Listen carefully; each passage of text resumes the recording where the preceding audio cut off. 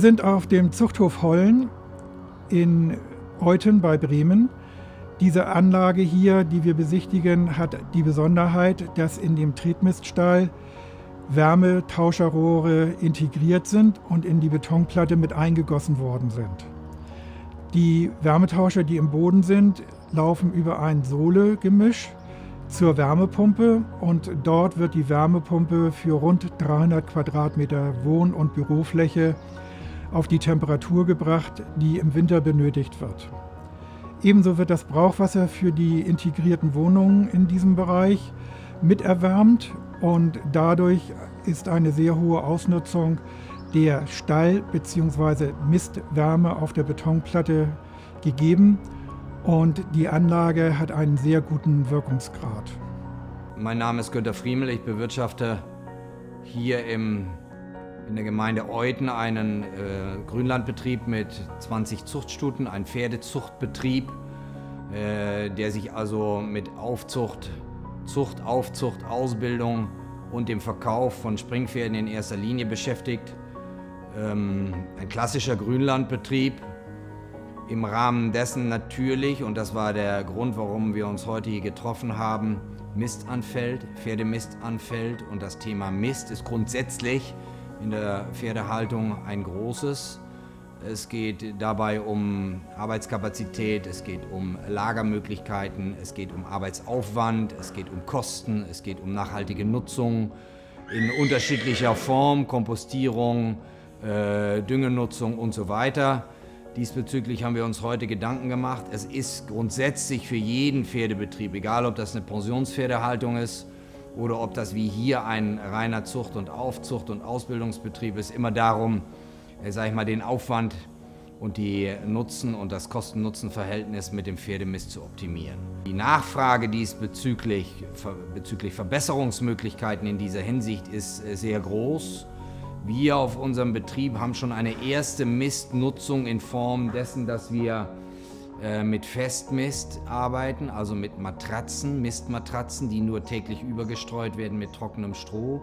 Und unten in der Betonsohle sogenannte äh, Wärmeleiter haben, also quasi, muss man sich vorstellen, wie äh, Wasserleitungen, die die Mistwärme speichern, weiterleiten an eine Wärmepumpe. Und auf diese Art und Weise wird der gesamte Betrieb, losgelöst von irgendwelcher Nutzung von Öl und Gas, mit der Wärme, der Fermentationswärme aus dem Mist beheizt. Es dreht sich dabei um drei Wohnungen, es dreht sich um das Warmwasser, mit dem wir die Pferde abwaschen, es dreht sich um eine Büroeinheit, um eine Frühstücks- und ein, eine kleine Restaurationseinheit, die wir hier haben.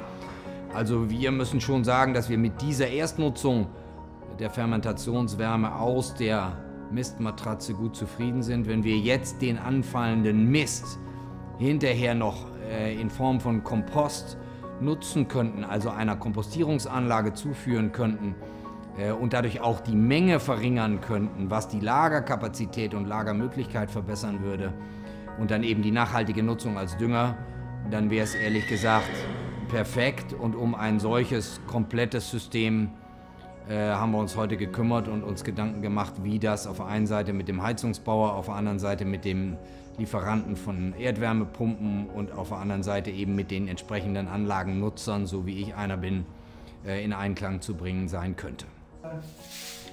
Schwarzes Gold, ähm, das ist jetzt zwölf Monate alt, vollkommen durchkompostiert. Ähm, das Einstreu hat seine ganze Konsistenz verloren, also das kann man zerbröseln. Es ist vollkommen geruchsfrei, es ist wasserlöslich und kann ebenso auf die Flächen als äh, Wirtschaftsdünger mit ausgebracht werden. Und äh, das ist also das Ergebnis von dieser Kompostierungsmethode, die wir haben. Und aus dieser Kompostierungsmethode ziehen wir uns im Moment die Wärme über solche Wärmetauscher aus. Da läuft einfach nur Wasser durch und kommt mit 60 Grad an der Heizung an. Also in Wirklichkeit ist es nicht, nicht riesige Veränderung. So, und ähm, das ist jetzt aber in Anführungsstrichen erstmal mit den Gedanken verbunden, welche Arbeit auf meinem Hof muss ich anders machen, um die Wärme aus dem Mist rausholen zu können. Und da bin ich jetzt ähm, an verschiedenen Stellen über Ihr System, was Sie seit 2013 im Einsatz haben, gestolpert.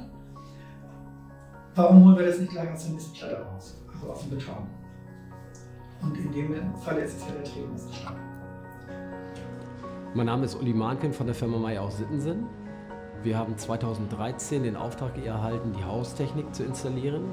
Auftraggeber war die Firma Portbau aus Sittensen. Das Besondere an dieser Anlage ist eine Wärmepumpenanlage, wo die Entzugsquelle der Mist in den Pferdeboxen ist. Die Wärme, die dadurch erzeugt wird, haben wir uns zu Nutzen gemacht, um das Gebäude zu beheizen und das Warmwasser aufzubereiten. Ganz wichtig ist, dass die Parameter eingehalten werden, die für diese Anlage wichtig sind, um einen störungsfreien Betrieb zu gewährleisten. Der Friemel von der Reitanlage hier ist ein Betreiber, der alle Parameter einhält und die Anlage läuft einwandfrei und beheizt das Gebäude sowohl in Form der Heizlast als auch die Warmwasserbereitung.